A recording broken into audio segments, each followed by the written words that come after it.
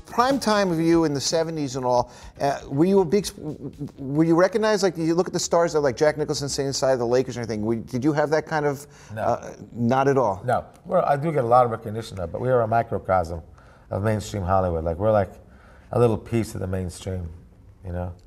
Do you did you go out to the sporting events or was it all the party scene? Did you? Um, it was whatever. If I was invited, I'd go to the uh, Did- the events. ath- did athletes? Did you get to hang with athletes? Sure, sometimes I would. Yes, me and these tall black basketball players have a lot in common. Both hung like bull mooses. So I, you know, so this is me in the old days again. Uh, you look great. You almost look like a, eat, you got a little Freddie Mercury in you there. It looks like. Yeah.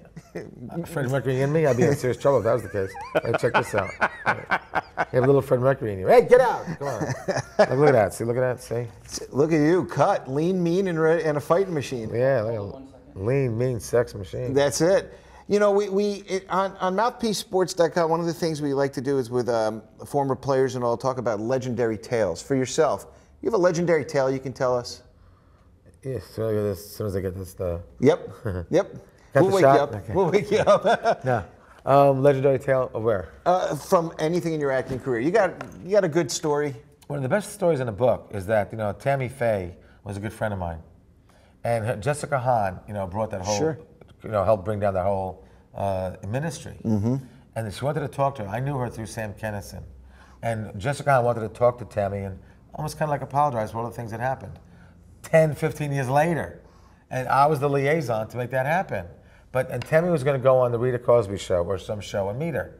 But they- imagine the, the, the, the ratings in that. Mm-hmm. Jessica Hahn finally confronts Tammy Faye. You know, I'm sorry, tears, praise Jesus. Makeup never- everywhere. They never got to do it because Tammy got taken ill with cancer. It came back. She had a colon, went to her lungs. So they did it over the phone, and I tape recorded it and gave verbatim in my book what they said. Like, you know, I love you, I love you too. I don't really blame you. Praise Jesus, wish you were my mother. Well, I, w- I wouldn't mind being your mother. It was just amazing stuff. How, how does a Jewish guy who was up in the Catskills get with Tammy Faye Bakker?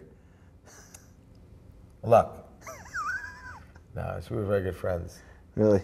She, she knew my sense of humor. We'd go to a restaurant and we'd sit down at the table. And Roe was a great guy. Her new husband's name was Roe Messner. And, uh, you know, and she'd say, you know, uh, Roe, do the, lead us in a prayer. We had this dinner together at a restaurant in North Carolina. Can imagine we attracted a lot of attention. Charlotte, North Carolina. There are lines on the block wanting to say hi to us, but we're just ignoring them. So she goes, uh, look, uh, Tammy, can I lead the prayer, please? All right, Ron, but don't be goofy. I won't be goofy.